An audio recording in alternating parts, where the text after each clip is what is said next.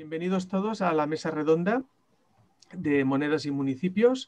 En esta mesa tenemos a Dani Dua Castella, que viene de la moneda del REC de Barcelona y explicará su caso.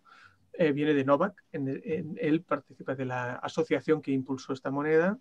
Tenemos de Santa Coloma de Gramenet a Uriol Tussón, que representa al ayuntamiento. Uriol, benvingut. Eh, tenemos de Viladecans Ramón Viadé, del ayuntamiento de Viladecans, de la moneda Vilabat.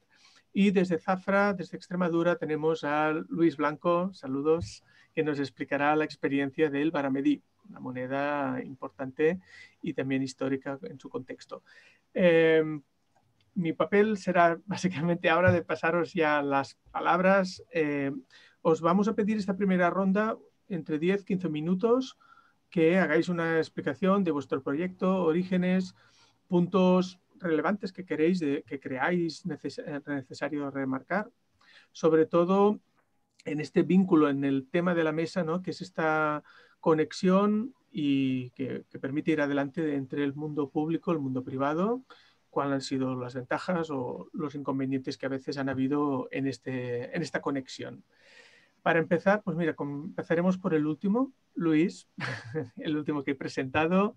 Será, los últimos son los primeros, pues te paso la palabra y todo tuyo. Podéis compartir pantalla si queréis y empiezan los 10-15 minutos. Gracias, Luis. Vale, pues nada. Muchas gracias por, la invitación al encuentro, Jauma. Un placer estar con vosotros aquí. Eh, muy buenos días a todos. Y bueno, nosotros aquí en, Zafra, yo pertenezco a la Asociación Movimiento Páramo, soy el presidente de la Asociación Movimiento Páramo, que somos los impulsores de la moneda del Baramedí aquí en, aquí en Zafra. Esta moneda, bueno, nace en el 2018 realmente cuando se pone, se pone en funcionamiento. Nosotros presentamos en 2017 la convocatoria a la Agencia Extremeña de Cooperación Internacional de Desarrollo, que es la que tuvo a bien financiar para poder poner en marcha la moneda y fue en 2018 cuando ya se, se, inicia la moneda, ¿no? Se pone, se pone en funcionamiento. Llevamos ahora mismo tres años, casi tres añitos ya, los tres financiados por la, Agencia Extremeña de Cooperación Internacional de Desarrollo. Eh, tenemos una persona técnico eh, que ha estado, que está durante todos estos tres años trabajando en la moneda. Y bueno, pues la moneda es una moneda que está como sabéis, hay muchísimos tipos de tipologías de monedas. En el caso nuestro, pues es una moneda respaldada en euros, de tal forma que se puede hacer el cambio uno a uno eh, en el valor con el euro, ¿no? Eh, y luego a la hora de las compras, pues exactamente igual, tiene el mismo valor. Nosotros lo, lanzamos en, la plataforma digital, eh, lo, hemos trabajado, lo estamos trabajando con Bitcoin, que bueno, me imagino que todos conoceréis. Y eh, también nos lanzamos a, crearla en moneda papel, como puede ser el Bristol Pound o como pueden ser muchas otras monedas locales que hay, y donde, bueno, eh, ahí en la moneda papel metimos una innovación que pensamos que no era innovación, pero luego cuando te pones a investigar, pues parece ser que sí lo es, que es el, meter el braille en el sistema de lectura braille en, en los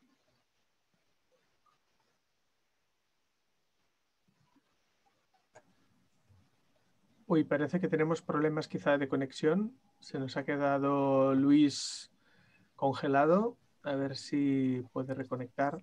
Esto es el braille. sí.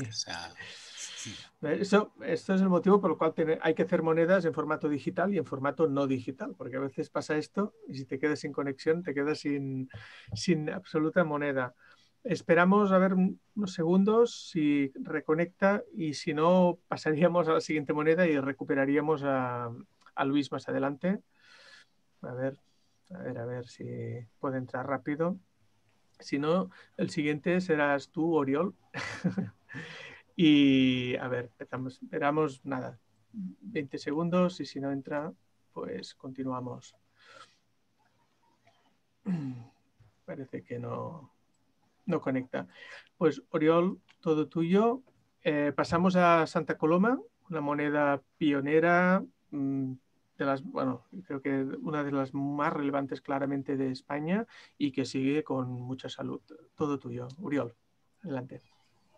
Muchas gracias, Jauma. Uh, gracias a todos los organizadores, a Ayuntamiento de Viladecans, a Ubiquat, al observatorio y a todas las personas que, habéis organizado y muchas gracias por invitarnos como Ayuntamiento de Santa Coloma de Gramenet.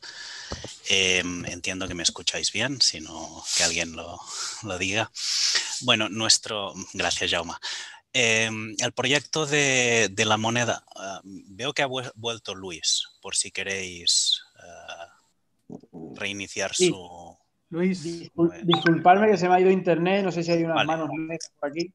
Y me, he desconectado. No sé si queréis que siga o Oriol, como tú vosotros Bueno, eh, no, si crees que la conexión será estable, eh, acabas, eh, continuamos contigo, ¿sí? ¿Lo probamos? Confío y espero que lo sea. No puedo prometer nada. Vale, bueno, Uriol, disculpa. Pero va a empezar Uriol porque para no quedarnos así colgados. Adelante, continúa, perdona.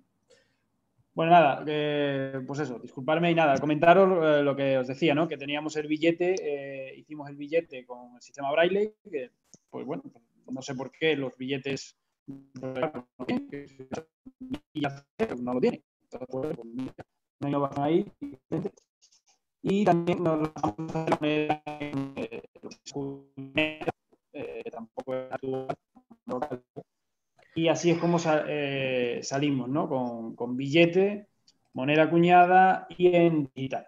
Y así es como en 2018 salimos con financiación pública, en este caso, de la Agencia Extremeña de Cooperación y con la Obviamente, lo que o lo que pretendemos con esta iniciativa es que eh, sea una iniciativa eh, en la que la pueden utilizar la gran mayoría de la, de la, población, sino toda la población de Zafra. ¿no? O sea, no nos queríamos quedar a lo mejor en ese círculo más convencido que le pasa a veces a experiencias de este tipo, en el cual se utilizan un, en un marco cerrado. ¿no? Nosotros queríamos que fuera de toda la ciudadanía, con lo que ello conlleva de dificultad, ¿no? porque al final esto requiere de muchísima pedagogía. Seguramente fácil o claro, rápido, claro, incluso los comercios para ellos no tiene ningún coste, ¿vale? Sin embargo, eh, bueno, pues cuesta, cuesta que los comercios adhieran, cuesta que la gente tenga la moneda, pero bueno, gracias a Dios, después de estos tres años sí que podemos decir que ya para medir por lo menos no suena raro en Zafra, ¿vale? Ya va por, le pueden gustar más, puede gustar menos, puede tener a favor o en contra, pero no suena raro, ya eso es un punto, ¿no? Porque nos hemos, me imagino que como pasará a todos, hemos pasado por todas las fases, ¿no? La primera será la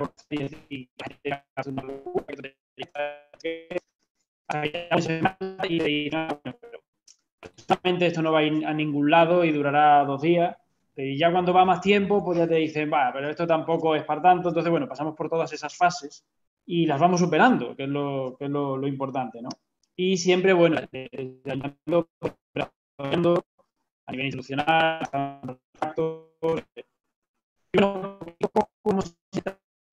que, que desde, desde, el ayuntamiento poder apoyar un poquito más, poder eh, poner dinero en circulación. Esto nos ha costado porque, como todos sabemos aquí, bueno, desde las instituciones nos podrán hablar mucho más los compañeros, pues no es fácil, ¿no? Estamos, no, no somos ilegales, pero estamos a veces en una alegalidad ahí un poco rara que no saben cómo, cómo enjaretarla bien para no, para no cometer errores, ¿no?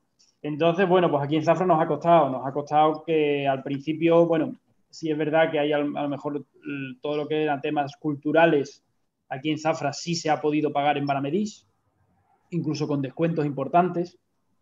Eh, eso sí lo hemos llevado durante estos dos años. Y ahora, eh, bueno, pues eh, que eso ha sido muy reciente, la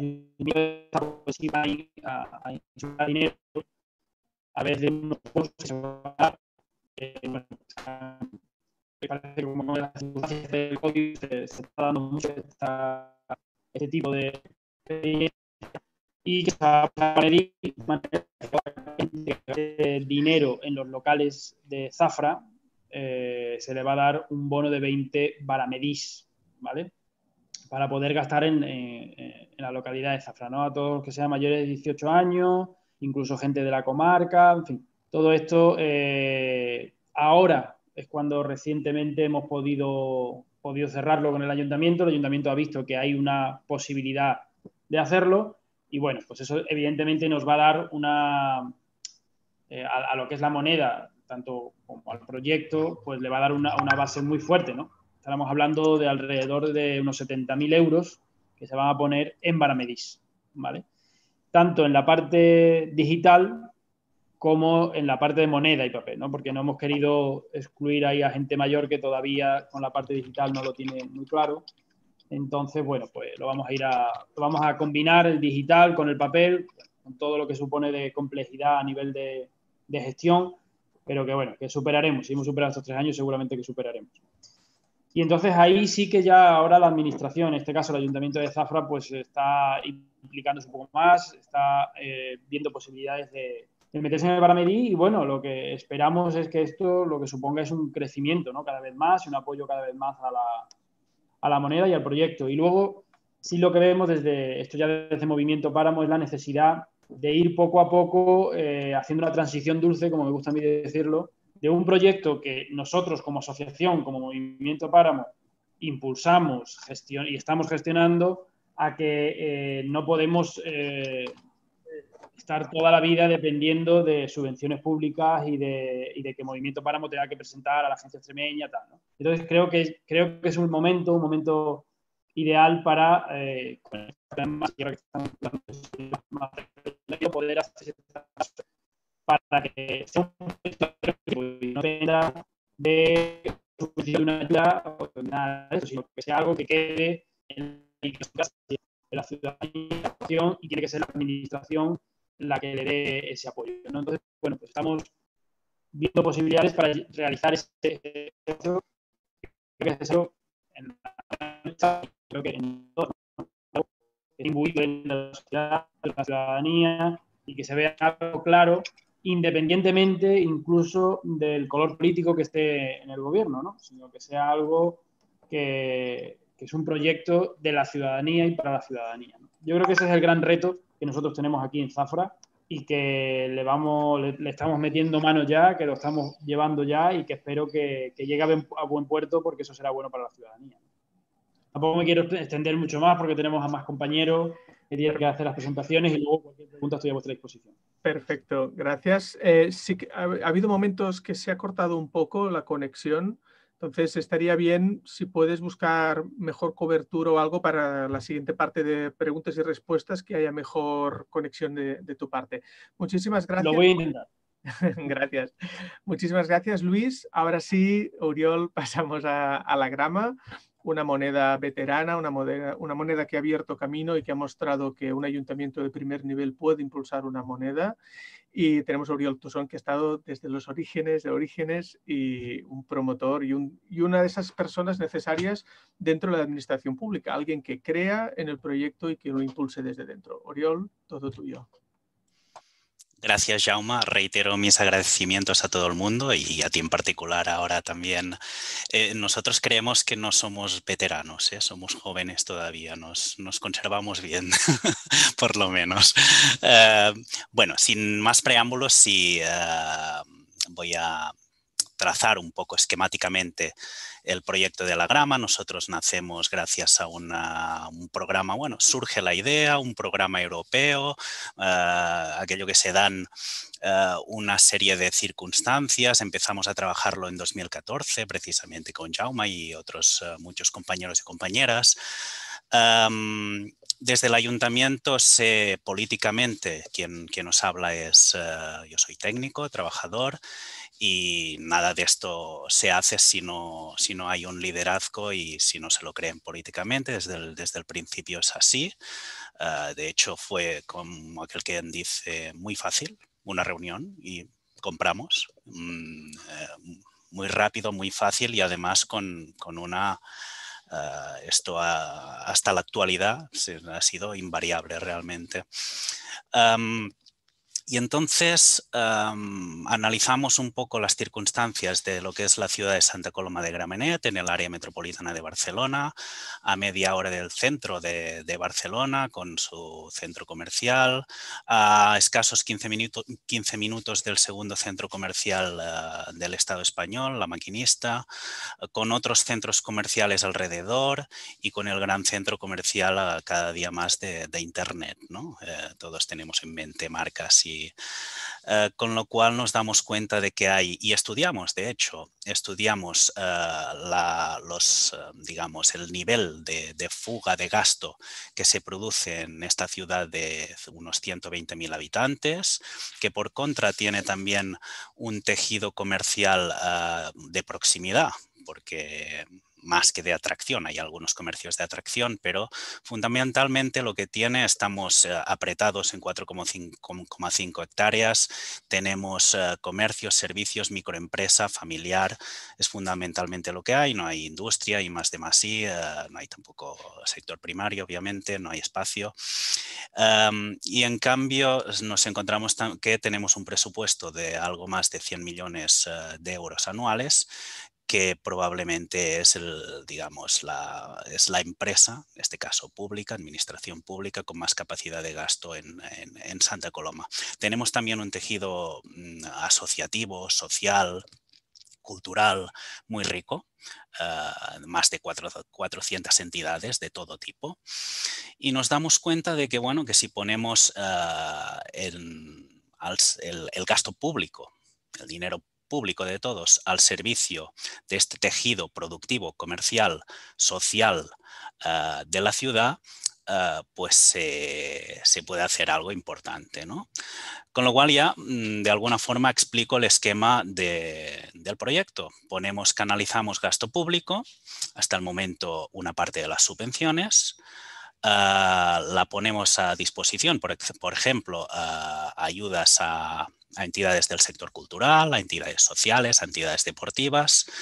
Y una parte, o en algunos casos la totalidad, se paga en gramas, se paga en la moneda local, que tiene la equivalencia con el euro, también respaldada por el euro. En nuestro caso digital, pagos eh, a través de una especie de banca online, digamos, lo que vendría a ser una página web, pero también eh, a través del móvil, que haría las funciones de, tarjeta, de lo que ya sucede, eh, los pagos con móviles.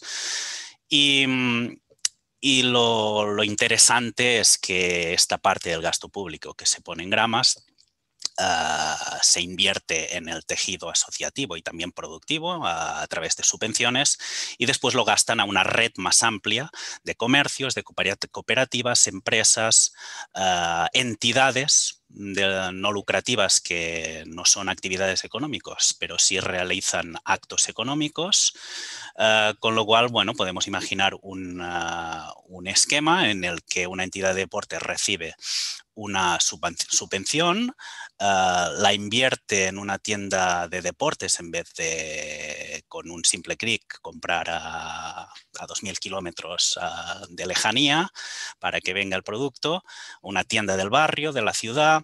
Esta tienda a lo mejor necesita un pintor para que le arregle el establecimiento, pero a lo mejor también necesita, pues bueno, todos necesitamos comer, va a un restaurante, compra un menú, el restaurante con estas gramas lo invierte en comprar eh, alimentos en las paradas de los mercados municipales, eh, la parada del mercado lo mejor es socia de la entidad de deportes y paga la cuota en gramas y así recircula eh, la grama, con lo cual el, con gasto público no multiplicamos dinero porque tiene su equivalencia en gramas, pero sí multiplicamos o tratamos de multiplicar el efecto multiplicador de su rendimiento en el tejido productivo y social de la ciudad.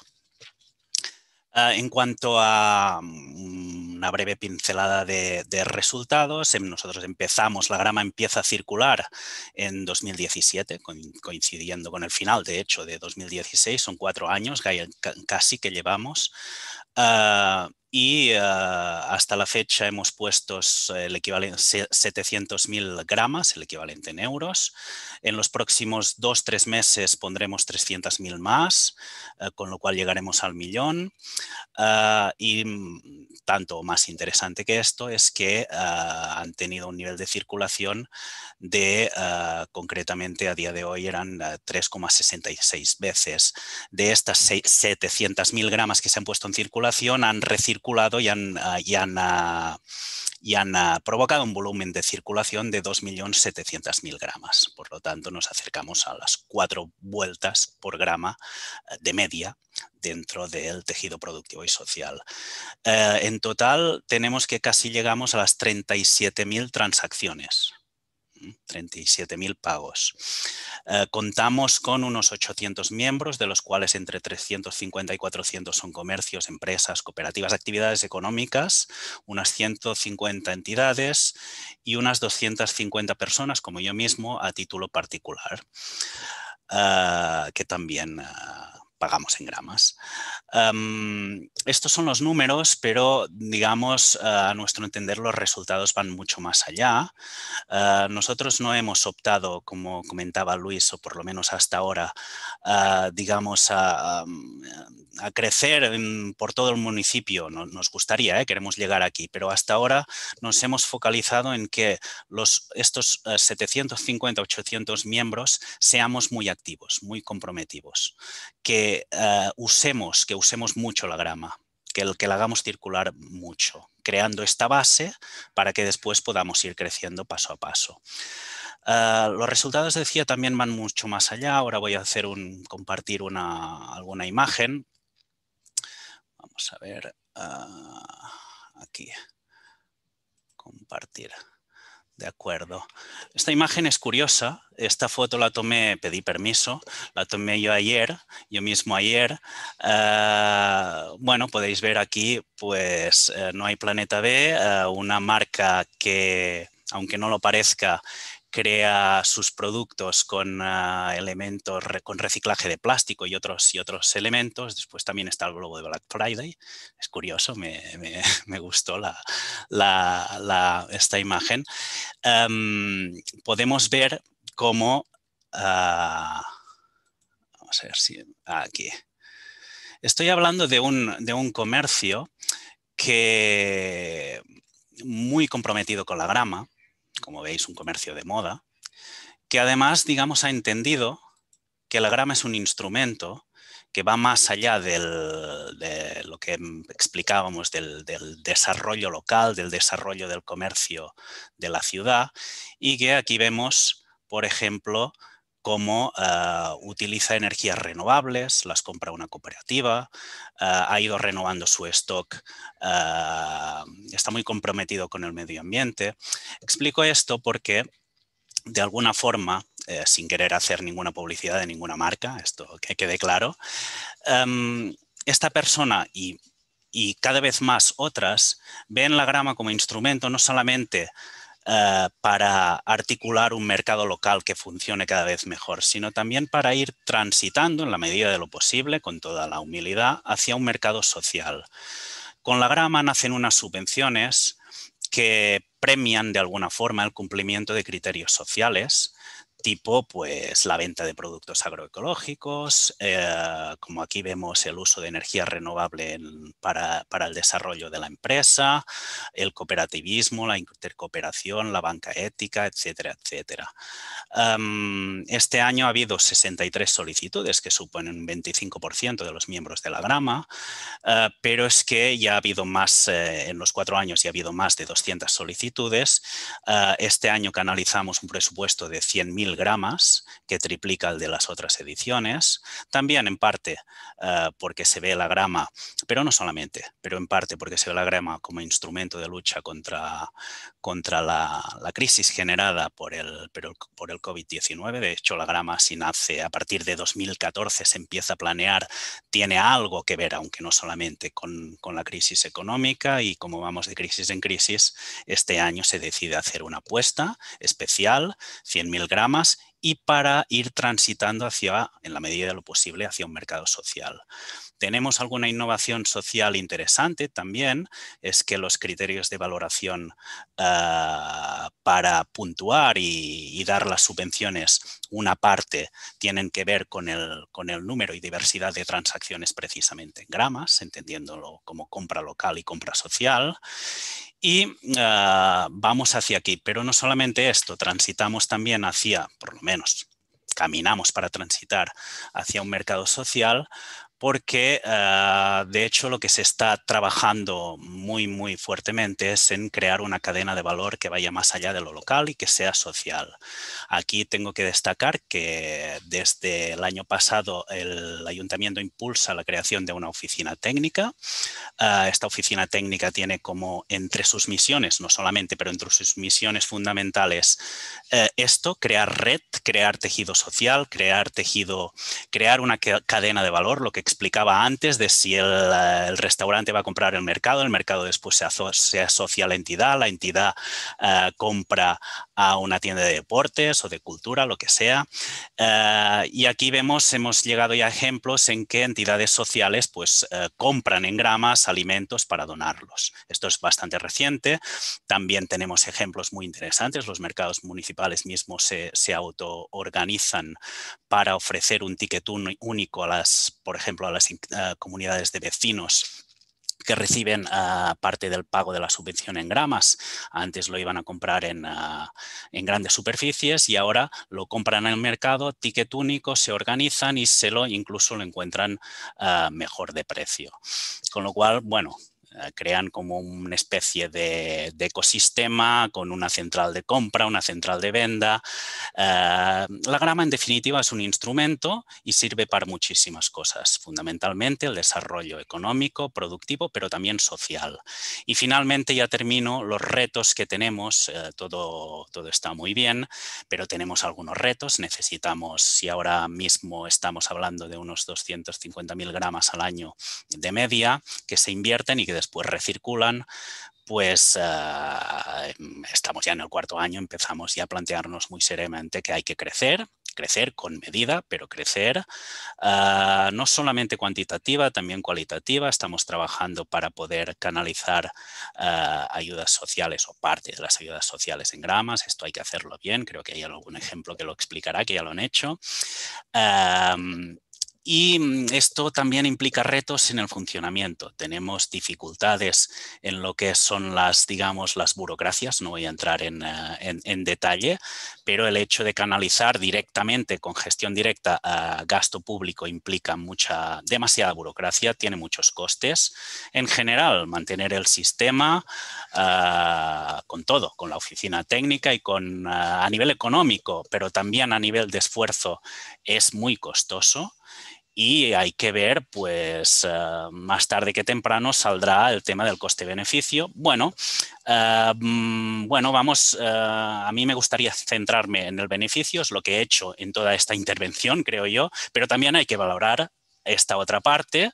Aquí, elementos interesantes, digamos, que no dejen volver atrás, creo que los apuntaba Luis antes, ah, este proyecto pueden ser la participación, también es un reto, una mayor participación, el empoderamiento todavía más importante, de, de aquí viene que, que, sea la población quien se vaya empoderando, la gobernanza, una gobernanza compartida, Vamos a ver si esto es posible, vamos a ver si nos aprietan y nos dejan salir de alguna forma.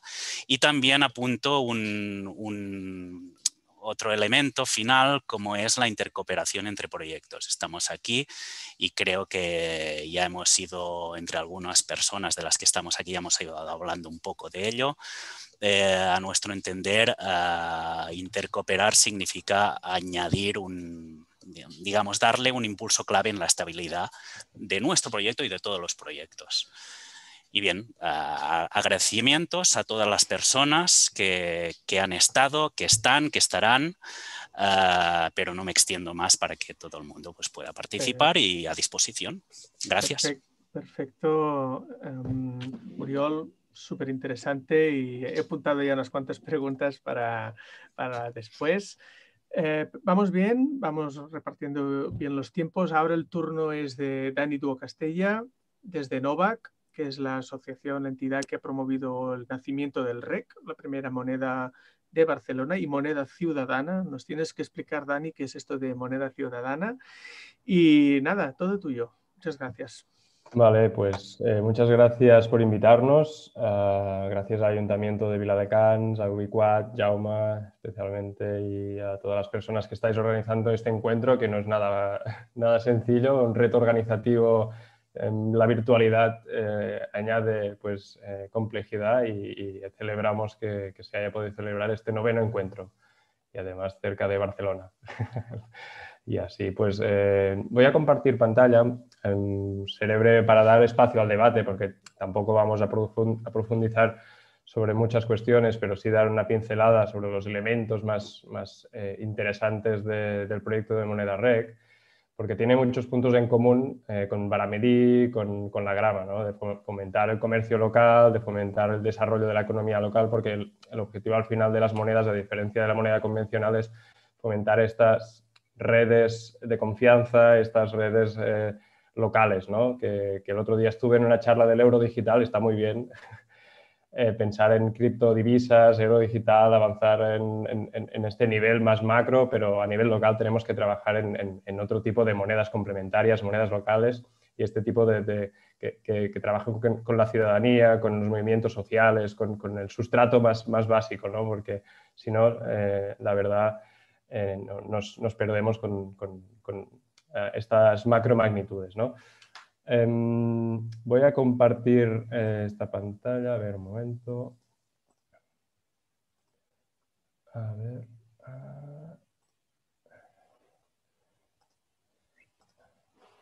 Vale, perfecto. Pues desde Novak es la entidad que está impulsando el REC, que la impulsó en el año ya de 2017 empezamos a, definir esta, esta moneda, REC, y es una moneda, eh, como decía Jaume, ciudadana, es decir, coge, es un híbrido, es un mixto entre las monedas sociales basadas en la confianza, gestionadas por la ciudadanía, y las monedas locales. Por lo tanto, digamos que el objetivo de esta moneda es estar creada y gestionada por la ciudadanía, por lo tanto por Novak, y veremos también por una entidad que se ha creado, una cooperativa que se llama Taula de Cambio, por lo tanto no es una moneda local, no es como la grama, sino que es una moneda creada por la ciudadanía y gestionada por la ciudadanía, donde el ayuntamiento tiene un rol importante, canalizando ayudas, canalizando bonificaciones, etcétera, etcétera. Por lo tanto, es una colaboración entre administración y ciudadanía, ¿no? y, que además esta moneda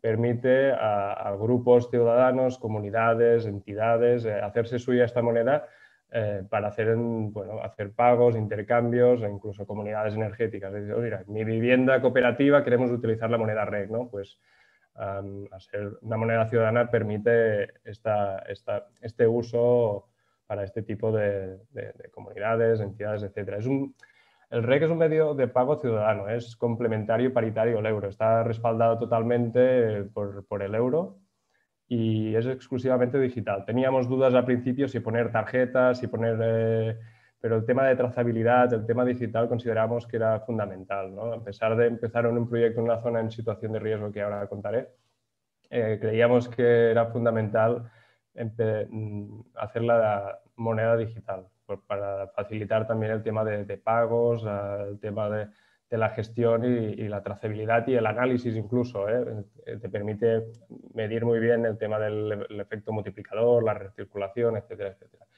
El REC eh, se llama Recurso Económico Ciudadano, también en inglés Real Economic Currency y además es el nombre del REC Cuntal que nace en Moncada y pasa por el EGB SOS, por lo tanto tiene triple significado. ¿Vale? ¿Y por qué en Barcelona se animaron a hacer una moneda? ¿no? Porque hay tres ingredientes principales, que uno es el compromiso político. Ya en 2015 en Barcelona en Comú apostaba, uno de los puntos principales del programa electoral era apostar por una moneda. Miraban Bristol Pound y decían, mira, queremos llevarlo de Bristol Pound o Kim Gower o Sardex o otras monedas estatales a Barcelona. ¿no?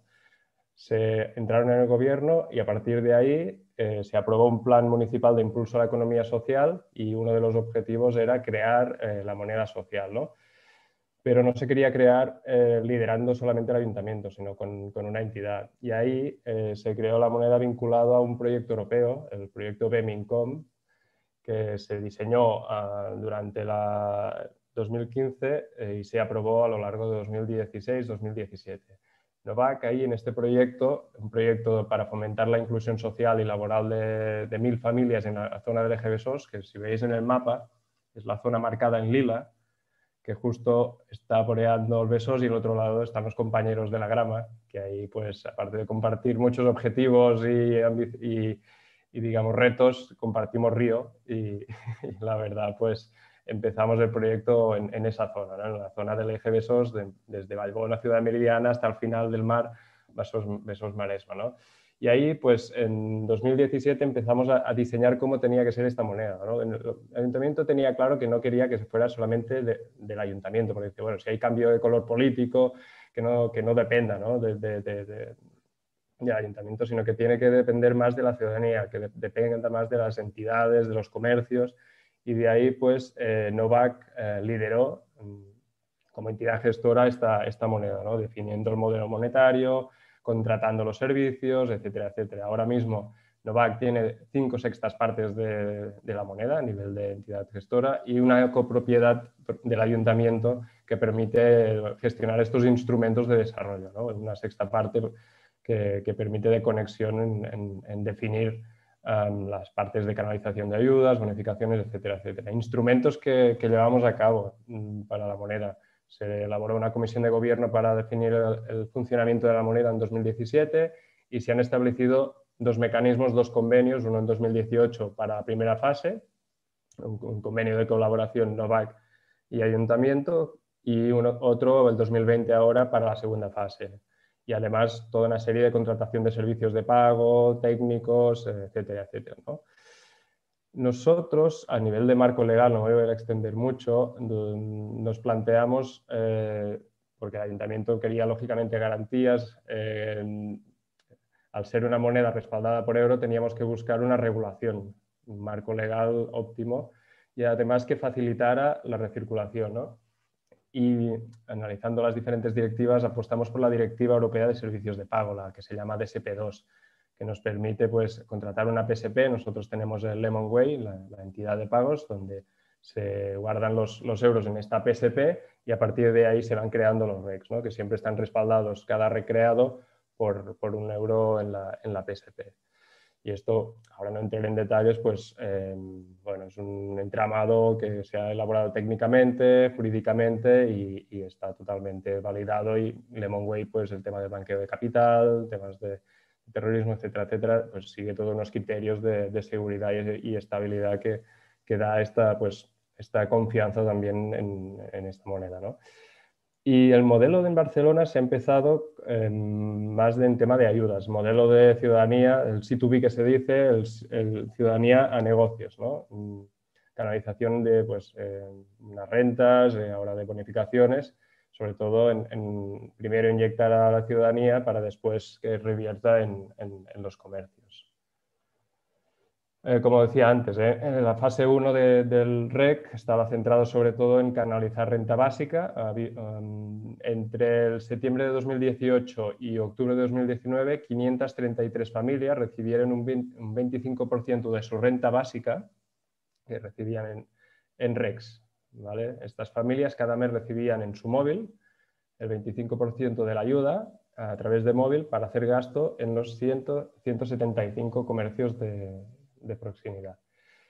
los otros 75% lo recibían en la tarjeta en euros. Por lo tanto, esto no quiere decir que todo era en REX, sino que se dejaba una parte para pagar alquiler, suministros. Muchos gastos de estas familias, lógicamente, no podían ser gastados o pagados en REX. Por lo tanto, Em, se apostó por una parte eh, de la renta básica. ¿no? Y, lógicamente, pues em, los comercios vieron una, una oportunidad de, incrementar ventas incrementar pues, eh, clientes que antes eh, no participaban en, el comercio local, ¿no? porque eran em, personas usuarias de servicios sociales, personas de, que normalmente utilizaban pues, ayudas para sobre todo ir a gastar en, otro tipo de, negocios o comercios más grandes, como decía Uriola, se ha detectado fugas ¿no? Fuera de, los barrios, de que hay mucho dinero público que no se queda en los barrios, sino que va a otras zonas. ¿no? Y con el REC el objetivo es que se quede precisamente en el comercio de proximidad, porque se detectó, se hizo también un estudio previo en que solamente el 18-20% de subvenciones de ayudas se quedaba en el barrio. Por lo tanto, em, teníamos que revertir, teníamos que eh, ir eh, ampliando este efecto multiplicador, este, este impacto del gasto público en, el, en BESOS. ¿no?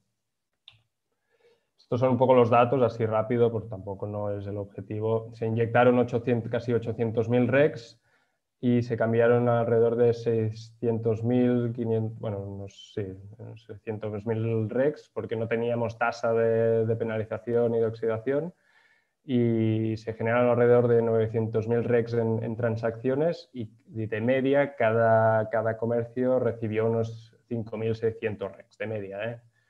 Es, pues, habían estos 175, los de alimentación, por ejemplo, que eran los de primera necesidad, recibían más RECs que otros de, de, otras características.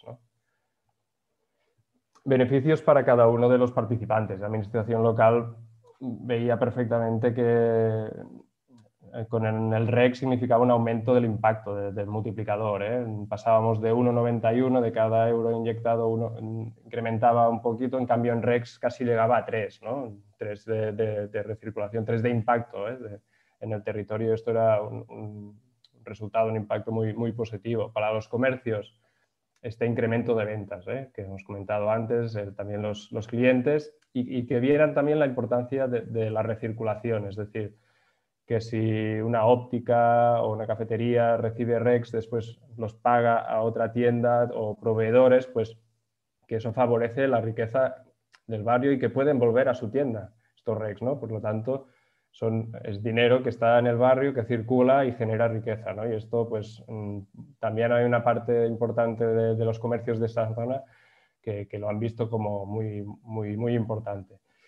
Y la ciudadanía también. Hemos eh, hecho encuestas con la ciudadanía y, hemos detectado que ha aumentado la confianza en los comercios. El vecino que a lo mejor en un, mismo bloque, ¿no? un mismo bloque ah, había un comercio pero iba a comprar a otro sitio, ahora con el REC va a comprar en, en la tienda de la esquina, ostras, se establece una relación más de confianza, de, poder incluso hablar más allá del propio negocio, ¿no? de relación comunitaria. ¿no? Y este es el objetivo también, no solamente la parte económica, sino también la parte comunitaria, relacional, social, de establecer vínculos ¿no? y, tener confianza de, ostras, se me ha roto la televisión, no voy a, la gran superficie o a la economía eh, de plataformas, sino a la tienda más cercana. ¿no? Y, y ahí es fundamental también este vínculo, que, que, la excusa sea lo económico, ¿no? Para establecer vínculos entre personas de, de, un territorio, ¿no? Y también es un elemento comunitario fundamental.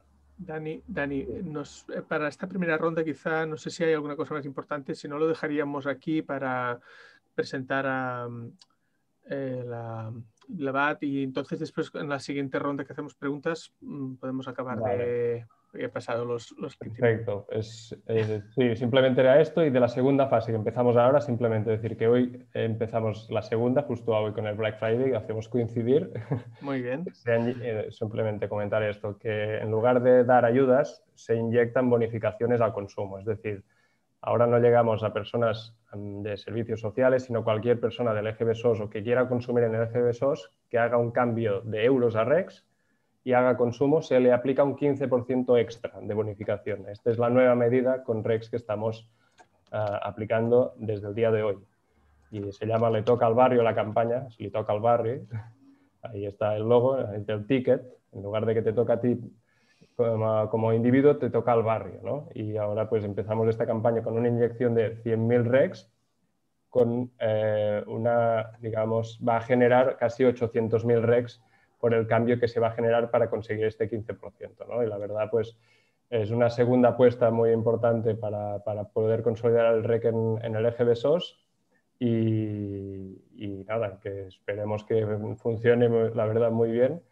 Y, y aparte de esto, no nos, solo nos queremos quedar con la, con, vinculado al, a los proyectos del ayuntamiento, sino, como decía al principio, de ir vinculando, creando proyectos o que la moneda funcione de forma capilar con, con entidades, ciudadanía y que, como apuntaba Oriol, pues crear, eh, crear también cadenas ¿no? de, suministro, de relaciones entre, entre, diferentes personas y ahí hay también esta cooperativa que decía de tabla de cambio para poder gestionar la moneda.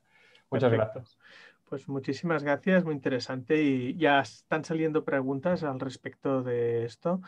Y ahora sí, para, acabar la ronda de presentaciones, paso la palabra a Ramón Viadé, eh, cap de serveis de l'Ajuntament de Viladecans, para que nos explique esta conexión, esta perspectiva ya más de conexión público-privada y, de gobernanza con la ciudadanía, bueno, estos aspectos de intersección. Ramón, todo tuyo. Muy bien, muchas gracias, Jauma. Eh, encantado de estar aquí con vosotros y compartir esta mesa redonda. Eh, creo que he aprendido mucho de vosotros y he aprendido porque además nuestra moneda es como, como la más nueva de todas las que hemos estado observando en este momento. Yo diría que Vilabat nació como moneda ah, en el 2020 y por tanto, como que ya lleváis mucha historia, nos podréis enseñar muchísimas cosas y de hecho he aprendido mucho de todos vosotros. Uh, Jaume, cuando nos pidió hablar un poco en esta mesa redonda, nos pidió que destacáramos uh, elementos innovadores o elementos que queríamos destacar de nuestra moneda. Uh, tengo una suerte y es que lo hayas explicado ya en, este, en esta jornada en diversos foros y se va a seguir explicando. No voy a, explicar qué es Vilabat porque entiendo que ya se ha explicado anteriormente y me voy a limitar, si os parece bien, a destacar lo que considero importante de este, de este proyecto. Y si me permitís, lo voy a intentar compartir en una pantalla mm, y brevemente hacer esta presentación e intentar destacar los elementos que para mí son más importantes eh, o van a ser más importantes a la hora de, plantear nuestro, nuestra moneda. Un momento, por favor, voy a compartir la pantalla. La, supongo que la podéis ver ya, la pantalla.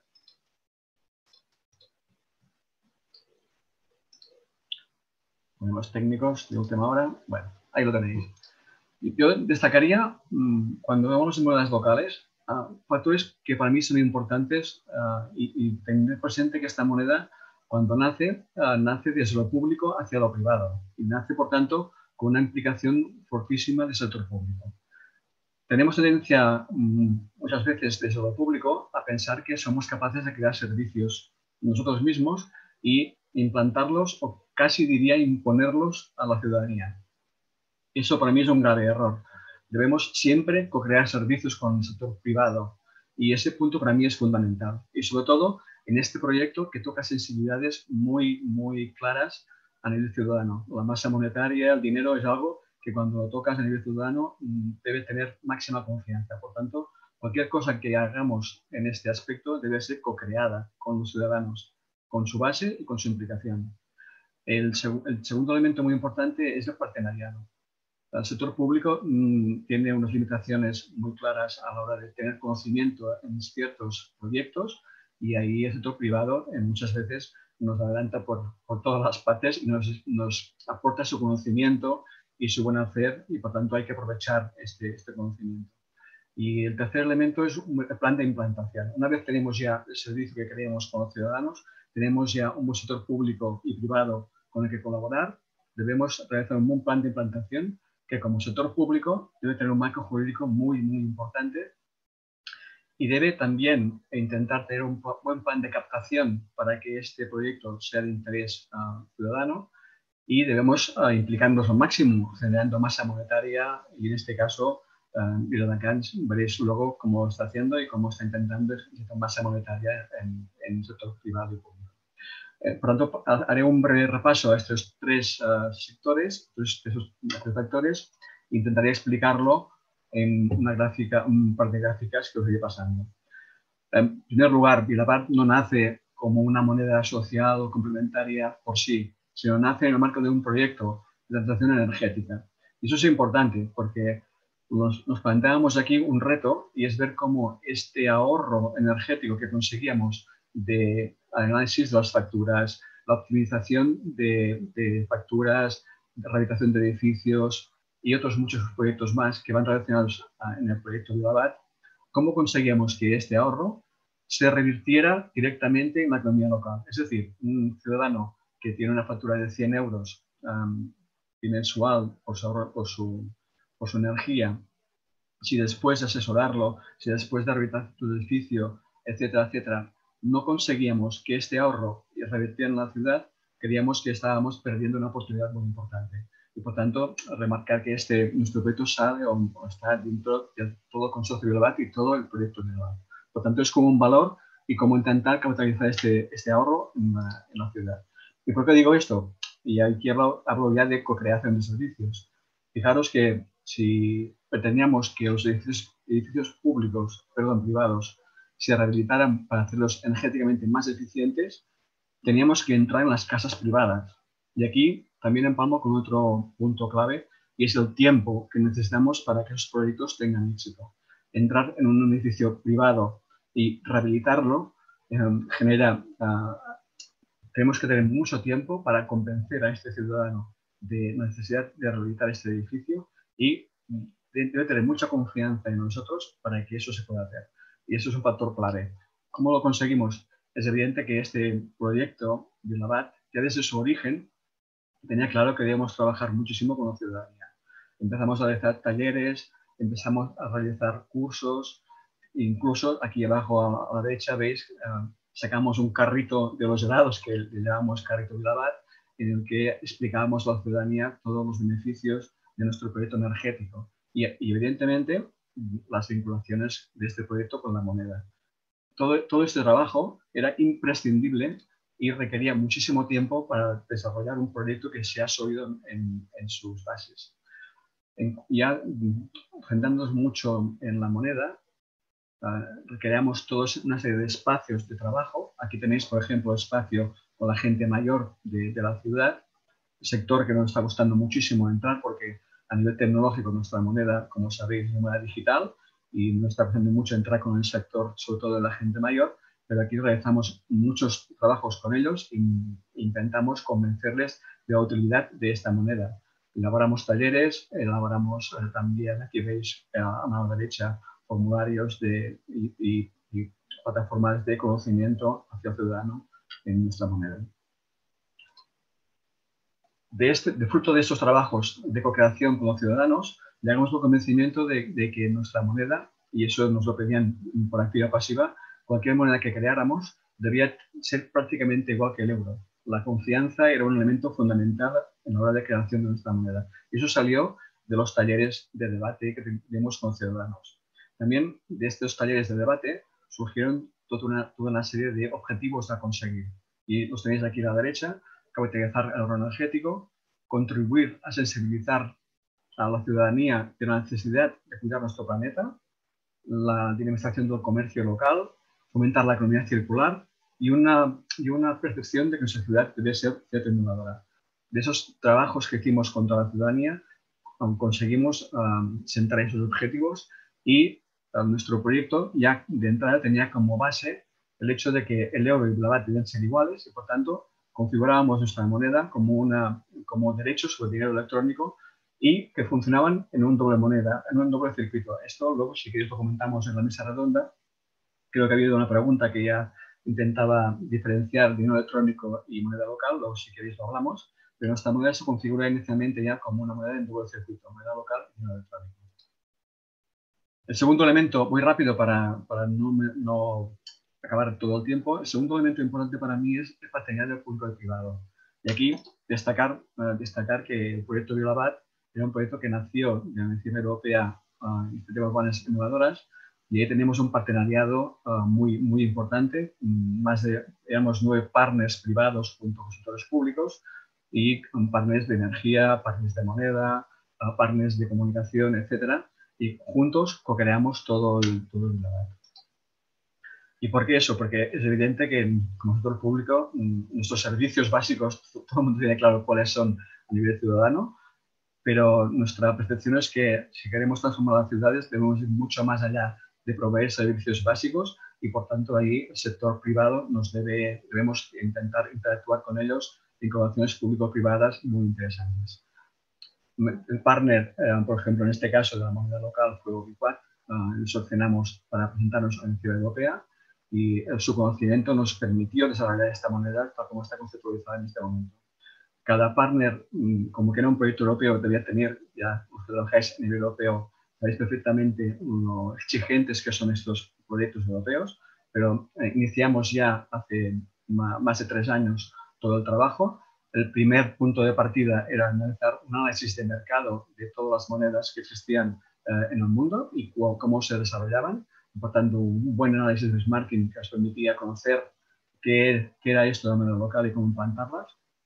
A partir de ahí, con la co-creación de servicios con el sector privado, uh, se realiza una propuesta de trabajo para implantar la moneda y luego ya se desarrolló el plan de implantación muy rápidamente y eso se desarrolló a lo largo de tres años prácticamente. Concluimos con un plan de implantación y este plan de implantación, desde su origen al final, tenía uh, un control a través de grupos de trabajo de, y de, de WACORES y steering committees que nos permitían ir valorando cada propuesta y implantándola uh, correctamente. El tercer elemento a destacar es la implantación. Y aquí la implantación, en primer lugar, sector público. Esta moneda se implanta desde el sector público a lo privado. Y por tanto, nos guste o no nos guste, el marco jurídico debe ser muy estable. Una vez configurada nuestra moneda como una moneda que circulaba sobre el electrónico, uh, lo que debemos analizar es cómo implantamos esta moneda a nivel local. ¿Cómo lo hicimos esto? Lo hicimos a través de una aprobación plenaria, aprobamos en el pleno municipal la implantación de la moneda y lo aprobamos junto con un protocolo de funcionamiento. Por tanto, creamos un servicio municipal, un servicio que se definía en el plan de implantación y se definía como un protocolo de funcionamiento que ahora estamos mirando hacia un reglamento de funcionamiento. Se configura el servicio, municipal de moneda electrónica, de moneda local, y se aprueba su plan y protocolo de funcionamiento. El, segundo elemento en este eje es la implantación. Una vez determinado todo el marco jurídico, a nivel tecnológico, se parametriza todo el sistema, se integra todo el sistema y algo muy fundamental para, dado que nuestro proyecto uh, estaba basado en dinero electrónico, debíamos, uh, nuestro partner debía uh, buscar un operador de mercado, un operador de dinero electrónico con el que contractu contractualizar su, su, operación. Eso también se realizó en el marco de un proyecto europeo en el 2019, creo, y ahí se firmó el contrato de cesión de servicios entre el operador de la moneda y la entidad de dinero electrónico. Posteriormente, la relación contractual entre el ayuntamiento y, la, y, el operador de moneda se realizará a través de contrato de, de concesión de servicios.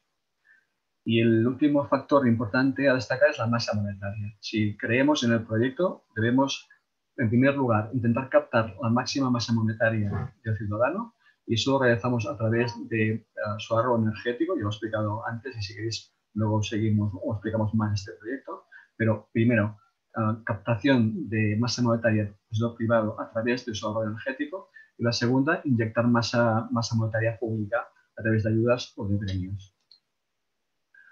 A, a nivel legal, ¿cómo configuramos nuestro protocolo de funcionamiento? El protocolo de funcionamiento aprobado por el Pleno Municipal definía sus objetivos, los objetivos de la moneda, definía el marco jurídico, ley de dinero electrónico, y definía las reglas de funcionamiento. ¿Cuál es el circuito? ¿Cómo se establece la paridad? ¿Qué partes hay en el sistema? ¿Qué características? ¿Cómo funciona?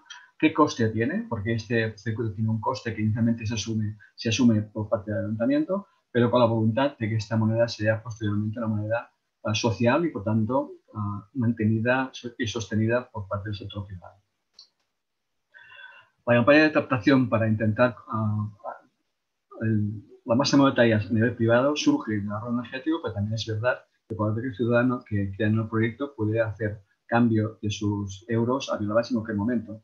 Por tanto, era importante realizar una campaña de captación um, muy, muy intensa. Eso se realizó en el año 2019 y 2020.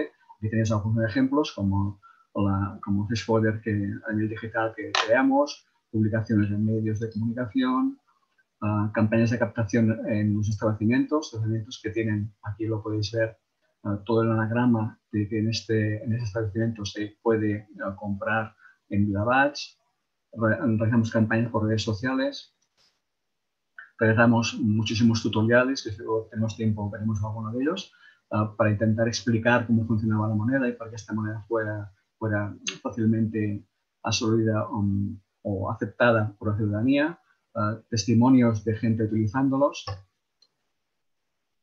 Y un último factor uh, importante para mí es cómo canalizamos ayudas públicas. Voy muy rápido en esos temas, luego sé que hablamos más, pero una vez hemos intentado conseguir uh, la implicación máxima de la ciudadanía, el sector público se implica al máximo. ¿Cómo se implica el sector público? Ya has visto cómo configuramos las reglas de funcionamiento de la moneda y pues marco jurídico, pero ahora ya estamos en un, punto en el que es importantísimo canalizar masa pública, masa monetaria pública eh, en el Lo hacemos en este momento en cuatro ejes. El primero es los premios de eficiencia energética. El proyecto Biolabat tenía un eje importante que es premiar comportamientos energéticos sostenibles. Desde la gente que realizaba sus edificios para hacerlos más sostenibles a la gente que, que adquiría energía verde, etc. Y incluso, incluso um, una campaña importante desarrollada en las escuelas públicas, a través de la cual, con un trabajo intenso con los alumnos de primaria y secundaria, uh, conseguimos eh, desarrollar proyectos para que sus escuelas fueran más eficientes y para um, generar comportamientos sostenibles. Ahí inyectamos uh, aproximadamente 250.000 euros, de los cuales el 50% se canalizan a través de euros, a través de El segundo, subvenciones a entidades y subvenciones a comercios. En este momento todos sabéis que el COVID está afectando muchísimo a nuestras ciudades y hemos conseguido realizar un plan de recreación local con más de 4 millones de euros aportados por el ayuntamiento de los cuales aproximadamente 400.000 euros son en subvenciones y ayudas a comercios directas. De estas subvenciones y a comercios a entidades, aproximadamente un 20% se van a canalizar en Vilavats. La convocatoria se ha realizado, se ha adjudicado y estamos ya en este momento en condiciones de inyectar estos Vilavats en la, en la economía. Y el último son los bonos Vilavat. eso es muy novedoso y estamos justo ahí aprobamos el pleno municipal la, la dotación presupuestaria son 250.000 euros que se van a poner en circulación con un sistema de bonos. Ah, creo que cuando vas a Dani del REC hacéis algo similar. El bono Vilabat va a ser un bono que va a tener un valor nominal de 50 euros, 50 Vilabats y se va a adquirir por 25 Vilabats. Por tanto, ah, inyectamos el 50% de valor de este, de este producto que se va a adquirir en bonos con dinero público. Ahí vamos a intentar ah, inyectar en la economía más de 250.000 euros en el sector en cada ciudad. Por tanto, en conjunto, creo que estamos en disposición en este momento de, inyectar masa monetaria por más de 250.000 euros en la ciudad. Perfecto. Y ah, ya, Voy, acabando, ya, voy acabando, ya sé que lo último es el futuro, un futuro muy esperanzador en el cual eh, esta moneda creemos en ella y vamos a ver cómo la integramos con sistemas de blockchain, cómo la integramos con sistemas de autoconsumo o cómo la integramos con sistemas de valores. Y ya para acabar, eh, es muy importante para nosotros que entendamos que la colaboración público-privada es fundamental en este tipo de proyectos y que la cooperación de servicios es un valor fundamental en todo, en todo su desarrollo. Uh, muchas gracias. Perfecto, gracias Ramón, muy, muy interesante. Y ahora empezamos, después de esta ronda que, donde han salido muchísimos temas y, muy, y temas muy jugosos para hacer preguntas, empezamos esta ronda Tenemos eh, algunas preguntas ya de usuarios. Em, yo lanzo una primera pregunta para todos. Responded em, como queráis. Se ha hablado de estas estructuras de cogobernanza y co-creación como un elemento importante, ¿no? Desde las que ya monedas que han nacido de la ciudadanía, o por ejemplo en el caso del Labat, lo conozco, hay un consorcio donde ya intentan que hayan esos actores, ¿no? Entonces, la pregunta es, ¿cuál creéis que es esa estructura? ¿Cómo tiene que estar distribuida? Em, ¿Qué actores tienen que haber? ¿Comercios, ciudadanos, entidades, administración, quizá municipios cercanos? O sea, ¿cuál sería esta gobernanza que creéis que sería más adecuada para que la moneda vaya en la dirección adecuada, porque hay que tomar decisiones de hacia dónde se va, si se impulsa el comercio, el mercado social, la economía social y solidaria, y cómo se hace, subvenciones, descuento de reputación. O sea, hay que tomar muchas decisiones y la pregunta es, mm, ¿cuál sería este, este equipo ideal de gobernantes y qué decisiones tomarían unos o todos, o etcétera? Es complejo porque cuando es dinero público, quizás el ayuntamiento el que tiene que tomar la decisión. Se puede hacer cogobernanza, pero hasta cierto punto. Pero bueno, como lo veis? Eh, pregunta difícil, pero bueno, aquí estamos para resolver problemas difíciles entre todos. Bueno, no sé, si queréis, yo como vengo a decir del sitio más chiquitillo, eh, os comento, nosotros aquí a nivel muy muy de andar por casa y, muy de germen, ¿no? Nosotros, por ejemplo, en el, en el Baramerí tenemos lo que, lo que, llamamos el Comité de la Moneda, que nos reunimos eh, tenemos un representante de la ciudadanía, un representante de comercio, un representante de y otro de, de, movimiento páramo. Se ha cortado, perdona, se ha cortado. ¿Puedes repetir los participantes? Es que se te corta. Ah, vale. Se ha cortado.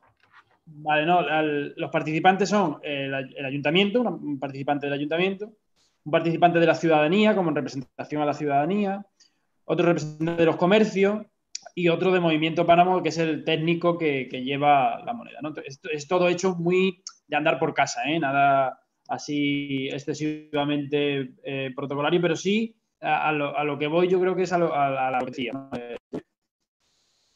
es que yo creo que es necesario que se sé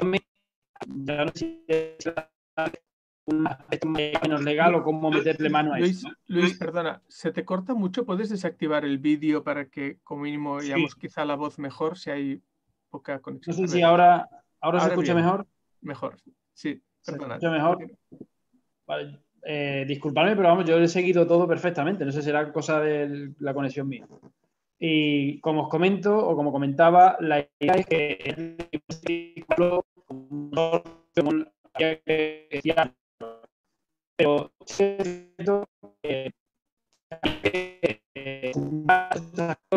y que entre todos se te estoy viendo decir que no, eso es que no te enteras. Eh, hemos oído entre todos, pero lo de antes no. Eh, hay problemas, hay problemas con el micro, Luis, es una lástima. Que sigan los compañeros y ya sí, a ver si puedo arreglarlo. Gracias. A ver, pues Uriol, eh, Dani, Ramón. Bueno, yo, a ver, claro, uh, repito, soy técnico. Eh, a mí me gustaría, pero ya es, un poco personal también, hablar de, este tema porque me gustaría que, eh, que la sociedad colomense, en nuestro caso, eh, le pusieran a los políticos este problema, entre comillas. Es decir, que, se organicen. tenemos un, un, universo limitado, pero, pero muy activo, muy participativo en la grama, a nivel de uso, como comentaba. Ahora falta, faltaría dar el paso para que se atrevan a, bueno, a condicionar, a poner, a poner esto sobre la mesa. Entonces, a nivel de ayuntamiento hay técnicas y técnicos eh, especializados en participación ciudadana, yo no lo soy, con lo cual no puedo dar más que una opinión en este sentido. ¿eh? Si les ponen este problema, entre comillas, sobre la mesa puede ser muy interesante. A lo mejor para otros no, pero, pero eh, lo ideal es que sean, sean porque si no, siempre estamos repitiendo el esquema de arriba abajo, mm. indicando que tienen que participar, esto para empezar, porque a lo mejor no quieren, y, e indicando cómo. Y esto tiene muchísimas limitaciones. Ah. Correcto. No, no, y en una ciudad grande siempre es más difícil que en una ciudad más pequeña, ¿no? seguramente motivar a la gente es más complicado. Ramón, Dani, ¿cómo lo veis? Bueno, Dani, tú tienes la ciudad más grande de todas, aunque estáis en un barrio en principio, pero ¿cómo veis esta implicación y esta cogobernanza desde el REC? Sí, bueno, lo apuntaba en la presentación, ¿eh? de que es una moneda ciudadana porque el ayuntamiento ¿no? no quiere gestionar al 100% esta moneda, sino buscar la implicación ya desde, desde el momento cero de, de la gente, ¿no? de las entidades, y ahí hubo el encargo de decir, bueno, pues que no sea tampoco Novak quien esté gestionando esta moneda, porque también es una entidad privada, en el fondo no somos una ONG que está diseñando, impulsando, pero que no nos quedemos gestionando ayuntamiento y Novak esta moneda, a pesar de que canalice el ayuntamiento. Y ahí se creó esta cooperativa que he comentado de tabla de cambio y mesa de cambio, que, es un nombre que se coge, que fue la primera banca pública de Barcelona, de 1401, pues de ahí el nombre. Y ahí pues el objetivo de esta, de esta, mesa de cambio, de esta tabla de cambio, precisamente esta, es esta gobernanza. ¿no?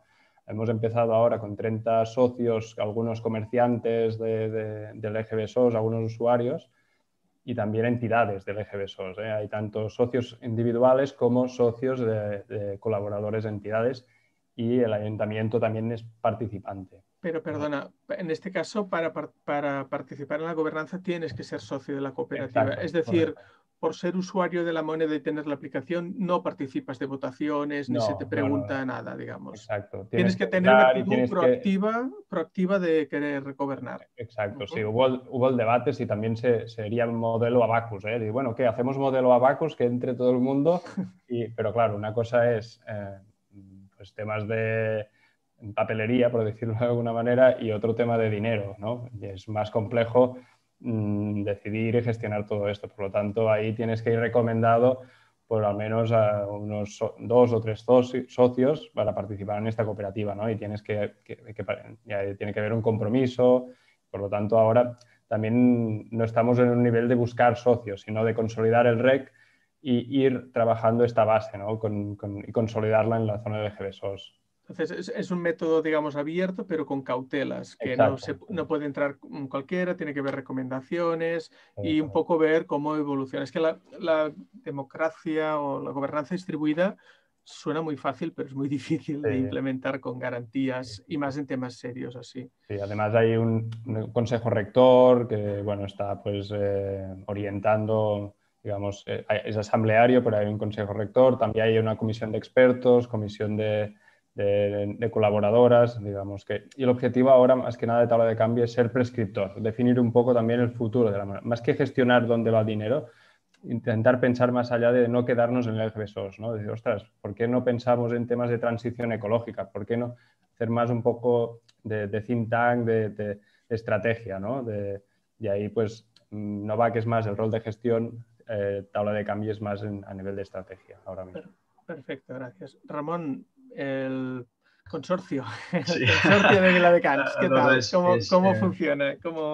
Realmente es un tema apasionante y la pregunta es, eh, hiere mucho a veces, ¿eh? mucho. Y por tanto, yo, diría, diría que es, ah, los que estamos aquí nos apasiona este mundo y la tecnología y los elementos disruptivos y cómo cambiarlo, pero nos cuesta bajarlo un poco a, a nivel ciudadano y convencer al ciudadano y hablo, y no me entiendes mal, no sé si convencer es una palabra correcta en ese sentido, ¿no? pero una moneda que sale desde el sector público hacia abajo, sector privado, la, la, convencer a los ciudadanos es fundamental. Y eso es confianza, absolutamente confianza.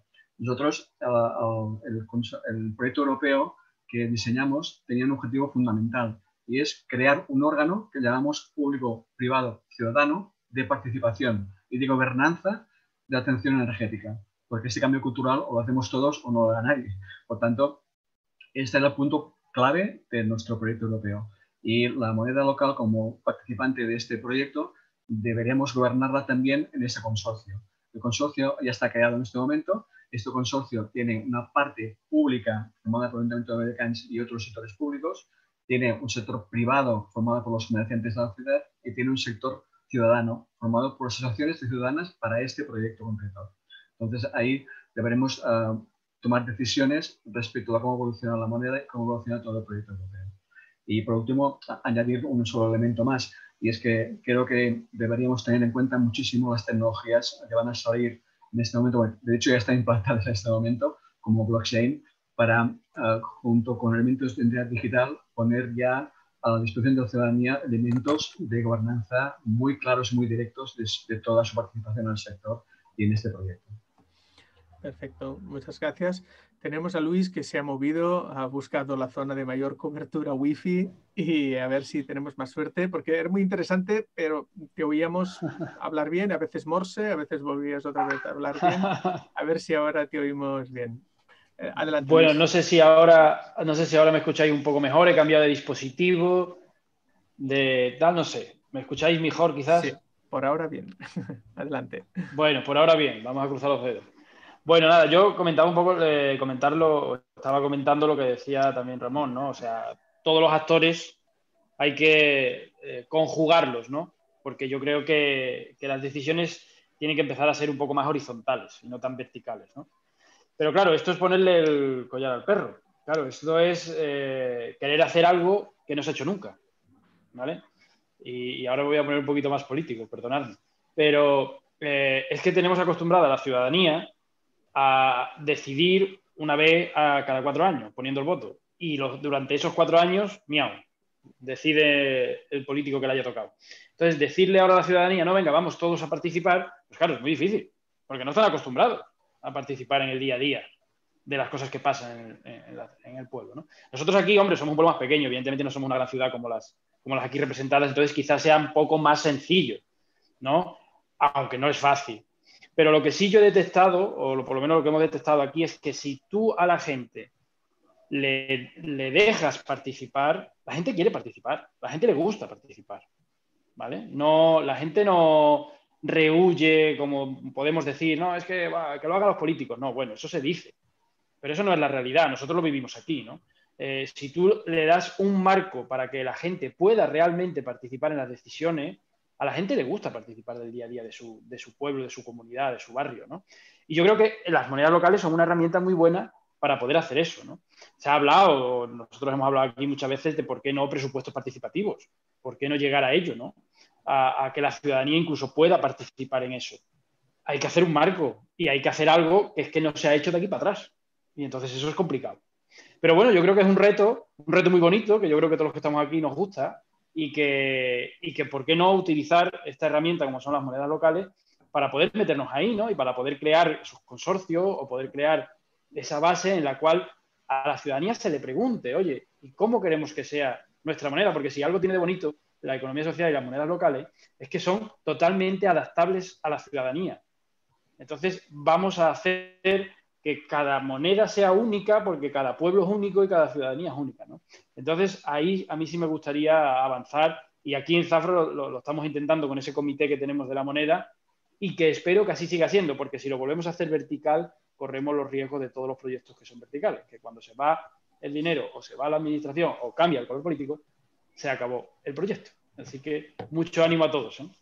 Perfecto. Ahora se te ha ido perfecto, no te muevas de aquí, porque ha ido, ha ido muy me quedo, bien. Me quedo, Curioso que en Cataluña ponemos el cascabel al gato, en Extremadura el collar al perro. ¿eh? Son dos actos distintos de la expresión, muy curioso.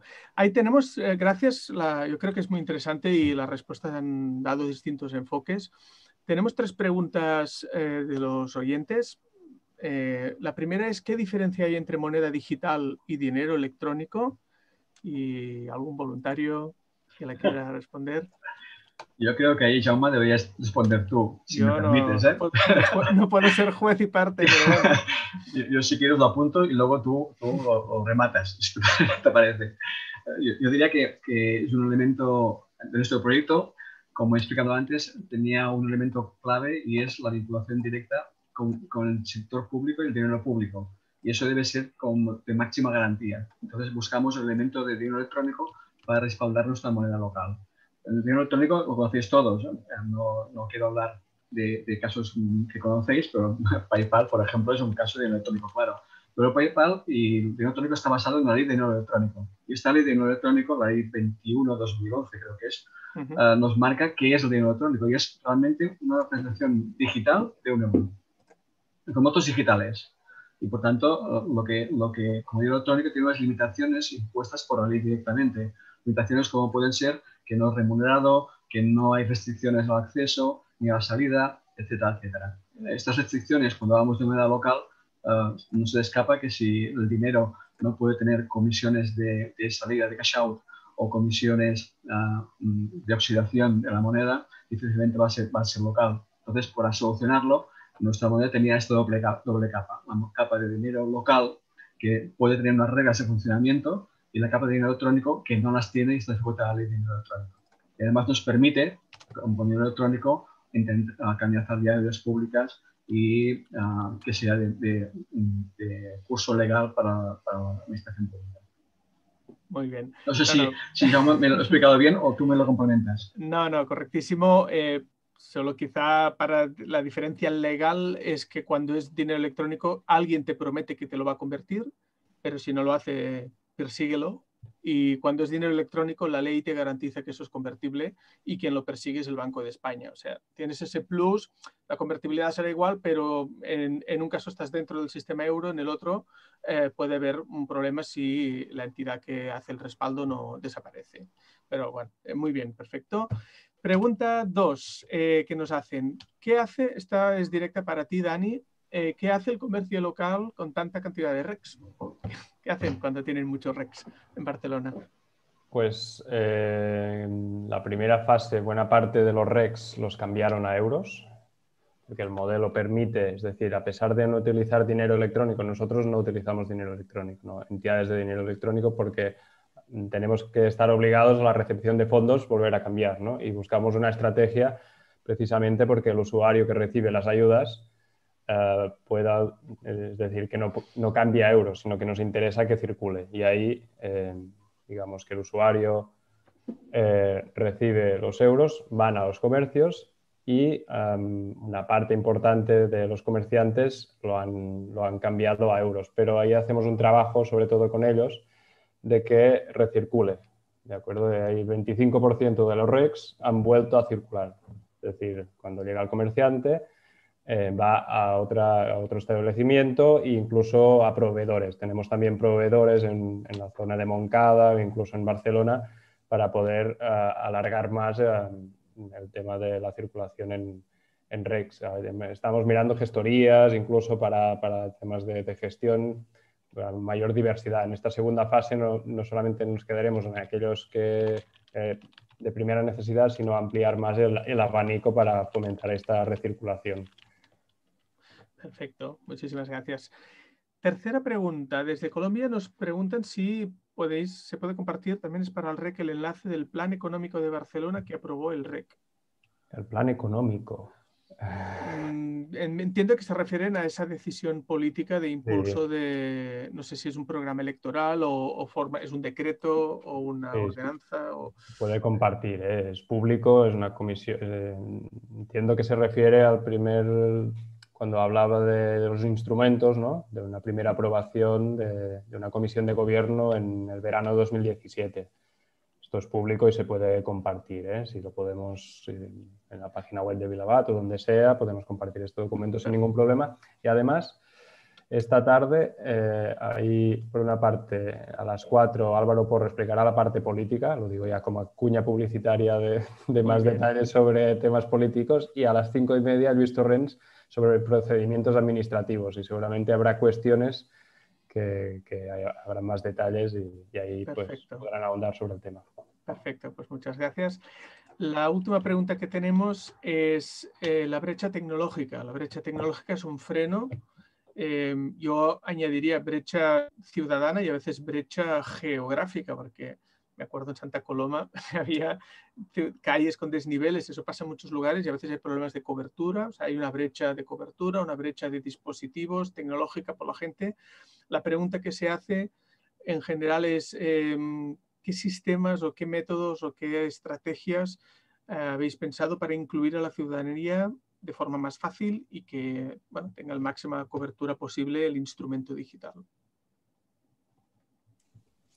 Bueno, empiezo yo. Eh, hasta la fecha, eh, yo hablaba de, perdón, el impulso de una oficina técnica con personas, esto lo trabajamos en, empezamos a trabajar en el proyecto europeo, el diseño, con personas los llamados, al principio los llamábamos brokers, esto suena un poco, uh, ahora bueno, agentes de intermediación, más que comerciales, no es, uh, tienen una función de comercial, pero no exclusivamente, digamos que son personas que ayudan a usar la grama, en nuestro caso, y ayudan también a los comercios a vender generan esta, esta cadena de valor.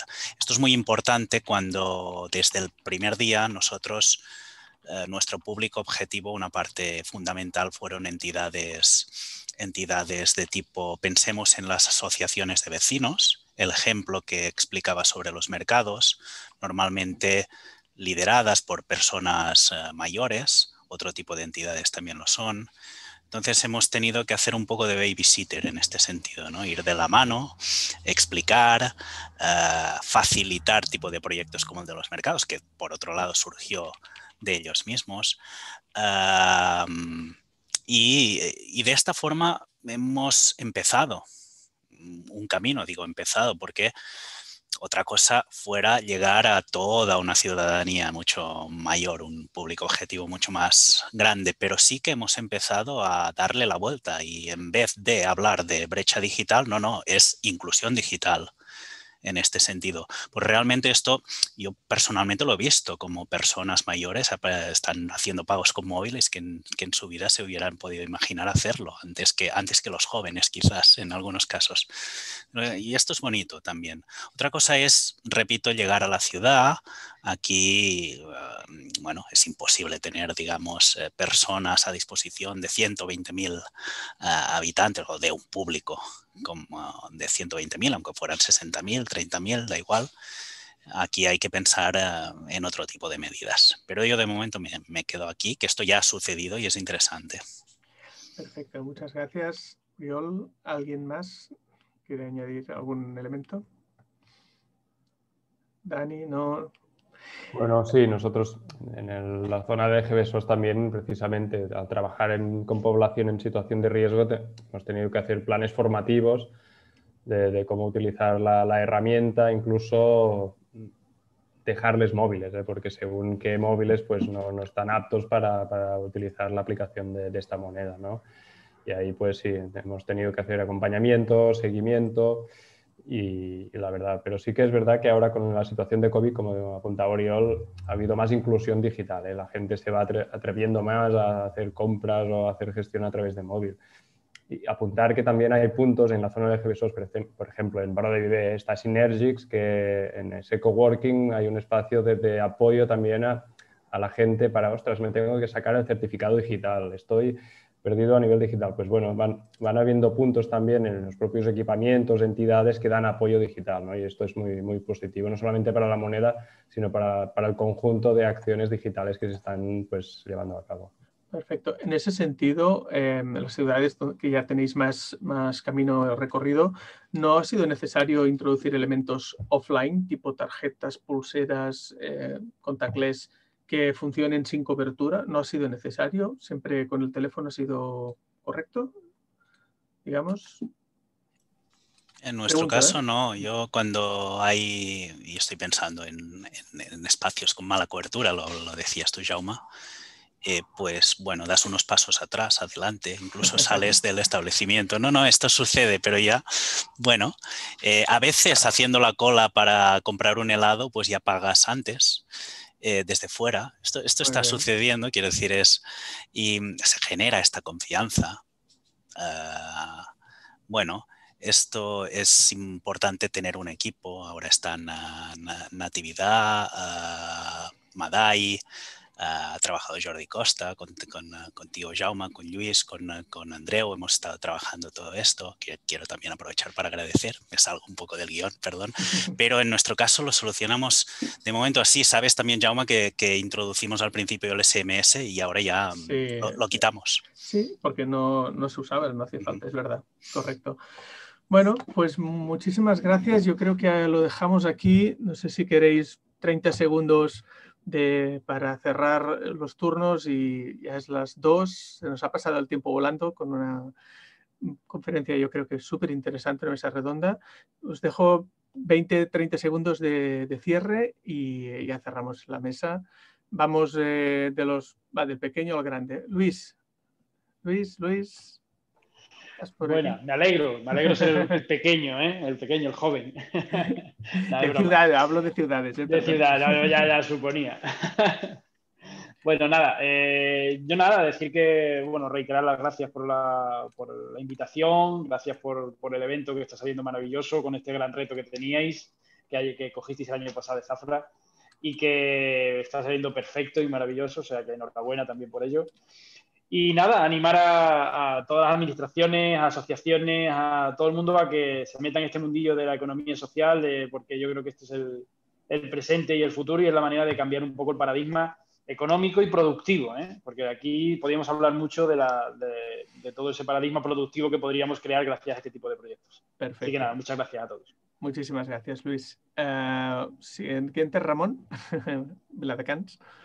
Gracias, Luis, porque recogemos tu testimonio y creo que era difícil el reto de intentar igualarlos y más en el entorno del COVID que tenemos en ese momento y haciendo tecnológicamente.